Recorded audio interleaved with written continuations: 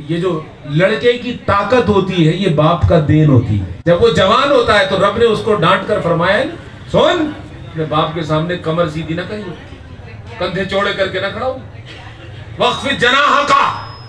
बाप के सामने झुक जा। इसलिए कि ये जो तू अकड़ा है इसलिए तो अकड़ा है कि वो झुका है तो तू अकड़ा है। उसी के अंदर से ताकत निकल कर तो तेरे अंदर आई है। तो अब उसी की ताकत से उसे मत डरा।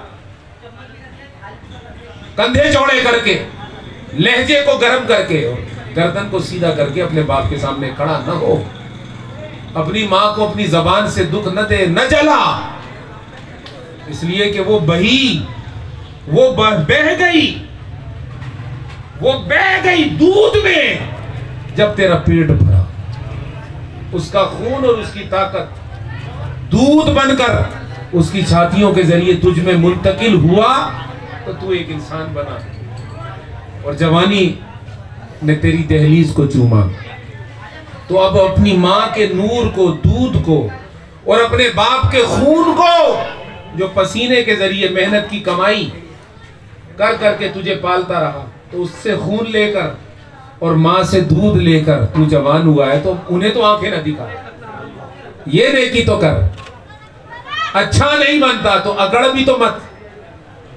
मीठा बोल नहीं बोलता माँ बाप को। गाली भी तो मत दे। खिदमत नहीं करता। उनकी इज़्ज़त तो ना चुरा। उनको अगर खुश नहीं करता तो उनका दिल तो ना जला। आखिरी उम्र के अंदर, बुढ़ापे के अंदर तू उनको ताकत नहीं दे सकता तो मजीद अपनी बदअमली से उनकी ताकत को छीन तो मत। फरमाया मेरे आका ने बाप की रजा खुदा की रजा है मैं फिर दोहरा कर कहूँगा। बाप का खुश हो जाना तुझसे, ये खुदा की खुशी की दलील है। माँ का राज़ी हो जाना तुझसे, ये जन्नत के इस्तेकबाल की तैयारी है। तू धरती पर चलता फिरता जन्नती है। अगर तेरी माँ तेरी पीठ के पीछे तेरे लिए दुआ करती है और एक है जबान से कहना, या अल्लाह इसको खुश रख, भले दिल जल रहा हो। असल दुआ वो होती है जो दिल से निकले। क्या? और दिल से दुआ उस वक्त निकलती है जब कोई चीज़ आपके दिल को छू ले। वो खिदमत है, वो मोहब्बत है। अगर आप चाहते हैं कि कोई दुआ दे आपको तो उसकी खिदमत करें। सच्ची दुआ तो जब निकलती है कि लफ्ज बाद में निकलते हैं, आँसू पहले हैं। आँसू पहले गिर जाते हैं।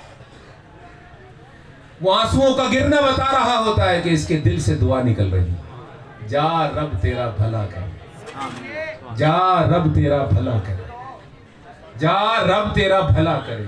वो ऐसी दुआ होती है कि लफ्ज खामोश होते हैं मगर दिल पुकार पुकार के उसकी दहलीज को अरशे मोल्ला के पार जाकर वो दुआ सराबा मुकद्दर बन के उनके उसके सामने आकर खड़ी हो जाए ये वाली दुआ लो।